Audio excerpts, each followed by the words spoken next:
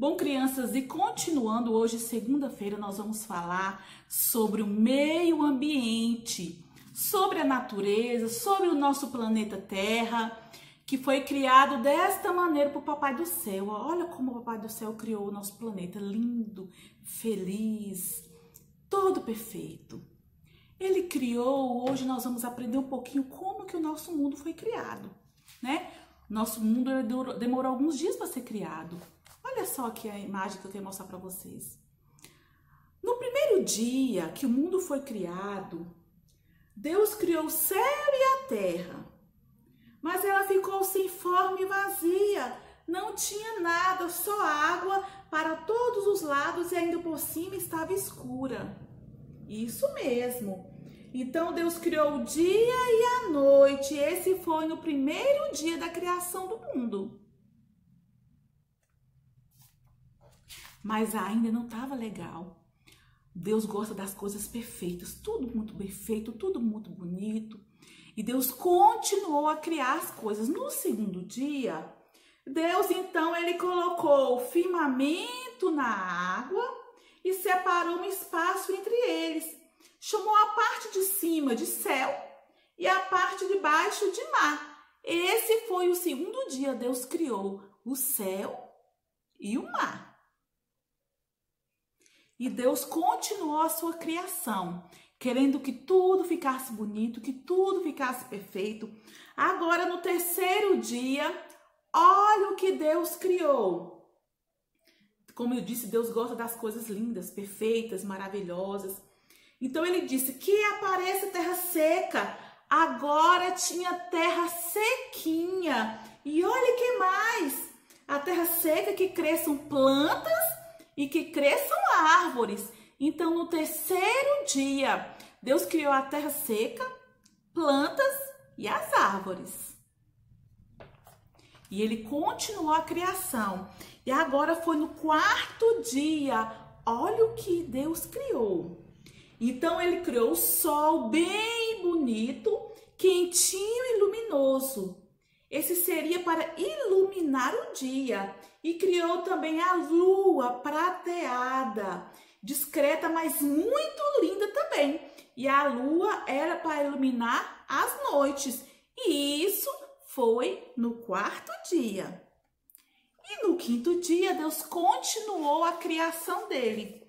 Então, Deus fez os pássaros para sobrevoarem os céus Pássaros coloridos, alegres e voadores, eles pousavam nas árvores e agora o nosso planeta estava ficando mais colorido e alegre com o canto das aves, mas e os mares estavam tão vazios. Então Deus fez os peixinhos, peixes grandes, peixes pequenos, coloridos, grandes, médios que nadavam pelos rios e mares.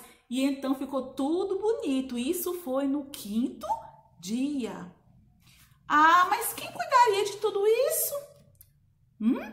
Deus, como é muito inteligente, olha o que ele fez. Olha o que Deus fez, o que Deus criou. Mas ainda faltava alguma coisa. Então Deus fez os animais no, no sexto dia. Espécies diferentes, animais domésticos, animais selvagens, animais de pescoço comprido, curto, curtinho, enfim, eram muitas espécies de animais. E por fim, Deus criou o homem e a mulher. E isso foi no sexto dia. E aí, quando tudo estava prontinho, no sétimo dia, Deus viu que tudo que ele tinha feito era perfeito, era lindo, era maravilhoso. Então, no sétimo dia, ele descansou. E quando Deus criou o mundo, ele criou, como eu disse para vocês, criou o mundo perfeito, tudo bonito.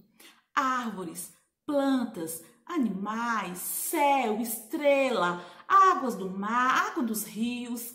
Deus criou dessa maneira o um mundo perfeito, um mundo tão feliz.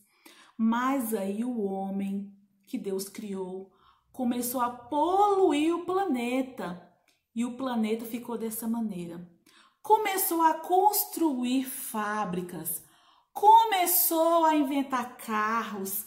E os carros começaram a poluir o ar, o meio ambiente.